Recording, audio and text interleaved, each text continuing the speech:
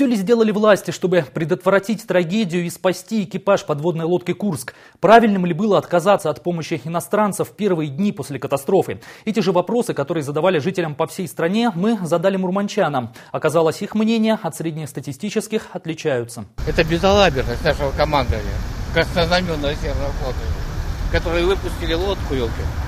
Может быть, там даже какая-то диверсия была. Когда вышли в рейс, может, было не все сделано. Я так думаю, может быть, просто так же, как сейчас поезда выходят, как рельсы проверяют, как везде у нас трагедия. Халатность наша просто халатность. Но единственный руководитель, президент и губернатор не может везде уследить. Это зависит от нас, от каждого, как мы работаем. А вот отказались тогда от помощи э, иностранных специалистов вот, во время трагедии. Вот. Это плохо, что отказались. Надо было тогда, э, я считаю, в то время у нас в стране было очень тяжелое материально, вообще экономическое тяжелое. Искренне жаль, что так получилось. Ну, не знаю. Мы не знаем, кого-то осуждать, кого-то это, это тоже, мы не вправе просто это делать. Ну, тогда отказались от помощи иностранцев при этой трагедии. Может быть и зря. Потому что для, когда идет э, речь о спасении жизни человека, то, наверное, надо использовать все до последней возможности. Тогда много предлагали этих э, вариантов. И частным образом, и, нор- и норвежцы, и русские, там много. Не спасли, не знаю почему. Говорили, там секретно что-то такое было. Наверное, из-за этого. Должны были спасти, по идее, должны. Они еще жили там некоторые.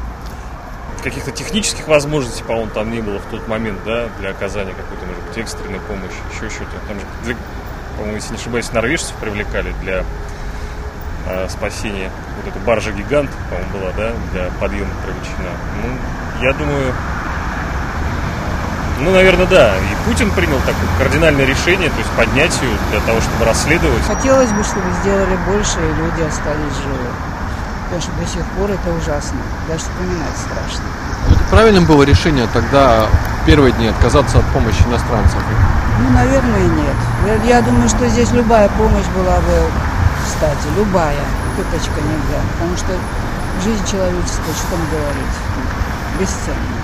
Максимальное, что могли власти, наверное, сделать, это гарантировать компенсации гражданам, точнее, по...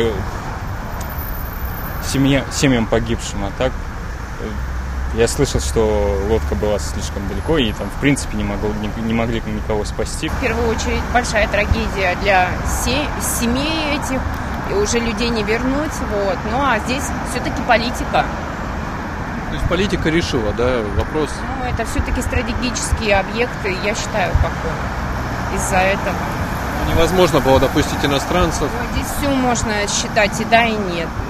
Не могу сказать ни хорошо, ни плохо. Я сам отставник подводник, пенсионер. Из Гремича 41-й дивизии служил. Не, уже спасать никто, никого не собирается. Раз пришел на лодку, все, или, вре- или вместе побеждаем, или вместе погибаем.